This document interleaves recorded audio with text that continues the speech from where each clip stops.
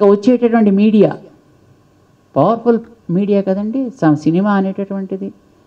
ప్రజలు ఎలా ఉంటారో వాళ్ళ కోసమే కదా మేము తీసేది. వాళ్ళ రుచి ఎలా ఉందో అలా కదే మేము కూడా చేయాలి. ఒకసారి పేరు చెప్తే అవసరం లేదు కానీ చాలా famous film producer probably director అనుకుంటా నేను. చాలా పెద్ద పేరెన్నిక గలవారు. పేరెన్నిక గల సినిమాలు తీసినటువంటి వ్యక్తి. ఎన్నో పూజ్యతని సమాజంలో కలిగించగలిగేవి తీసినటువంటి వ్యక్తి ఓసారి ఎప్పుడో మాకు కలిశాడు. ఏమయ్యా మీరు చాలా మంచి పవర్ఫుల్ మీడియా చేతిలో పెట్టుకున్నారు కదా. సమాజానికి నైతికంగా బలం కలిగించే సినిమాలు తీయండియా చూడరు స్వామి అన్నాడు. ఏందయ్యా అని అడిగాను. అంటే చూడరు స్వామి. మరి ఎట్లాంటివి తీస్తే చూస్తారాయా?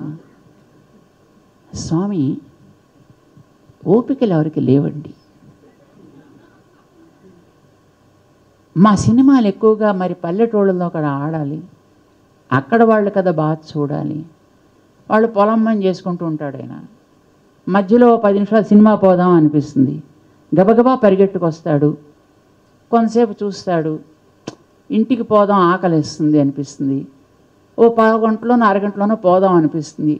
ఆ సినిమా హాల్లో కూర్చున్న పావు అరగంటలోనే వాడికి ఏదో ఒక ఆనందం కలిగించే సన్నివేశం ఇవ్వాలి స్వామి. అందుకే మా సినిమాల్లో ఎప్పుడూను. అది two hours two and half hours ఆడినా పావు గంటకి నెక్స్ట్ పావు గంటకి సంబంధం ఏమి ఉండదండి.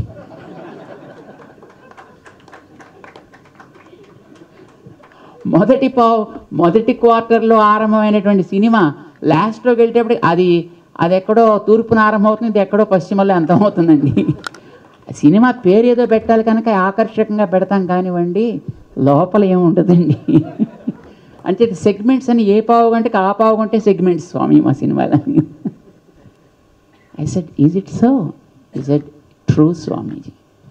కాదు నేను మీ దగ్గర అబద్ధాలు ఆడకూడదు కనుక సిన్సియర్గా చెప్తున్నానండి